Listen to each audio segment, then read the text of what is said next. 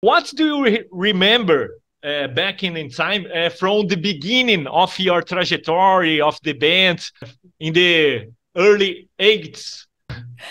In the early 80s, I think the most important thing I remember is that that I'm singing in Holy Moses was an accident. because, an accident. Yes, because I never planned to sing in a band.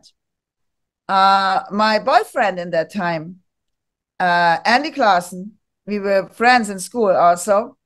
He joined the school band Holy Moses. And because I was his girlfriend, I was hanging around in the rehearsing room. And it was 81.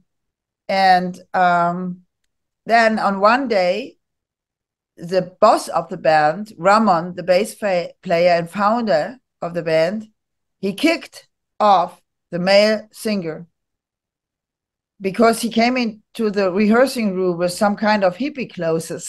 That's not metal enough for him.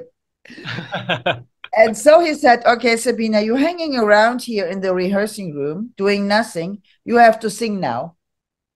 And I said, Oh my God, I can't sing.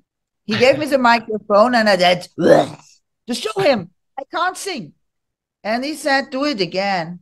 And I did it again and show him, now you see, I can't sing. And he said, that's it. And I was going white in my face because I couldn't believe that. And he gave me some lyrics and said, okay, Sabina, this is a chorus, this is a verse, you have to do this, and now you have to do that and that. And from that time on, I was a singer of Holy Moses, and that now until 2023. Unbelievable. Yeah.